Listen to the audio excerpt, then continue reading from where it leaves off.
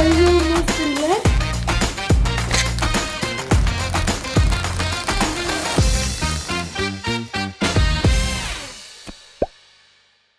everybody, welcome back to the Stupid Lab. Today we are going to make a homemade spinner.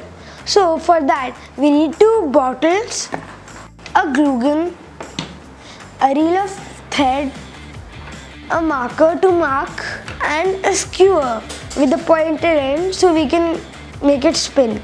So for the second step we need these two caps and we need to make holes in them. So for that I need my mama's help. So now my mama has helped me make these holes in the bottle cap and also cut this bottle. I already put a, put a red mark on this bottle so it was it, it was easy for us to cut it. So the next step is to stick both these caps together.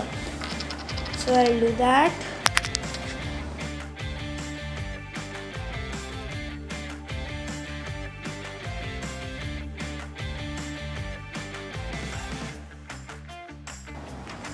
So now I'm done with this. Now I need this skewer and I need to insert it through this hole and it needs to come out of this. And it's done. So now we'll take this part of the bottle and we make two triangle cuts. One here and one on the opposite side. So now we'll have to put this here and check how much of the part of the skewer to cut. So this is the middle right now. From my finger if I measure this part of the skewer is coming out from here. So now I'll have to measure the same here and cut it with the scissor. Now we cut it from here. So for the next step, we have to take this green ring of the bottle.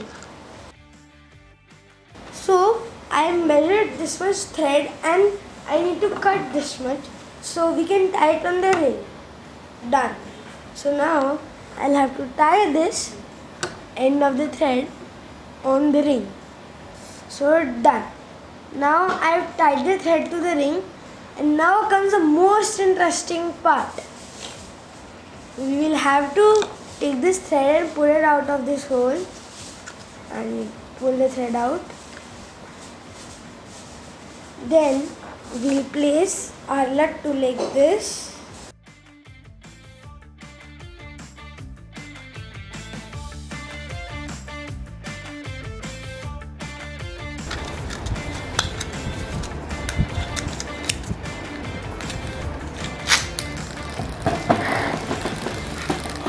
ayrılmasınlar.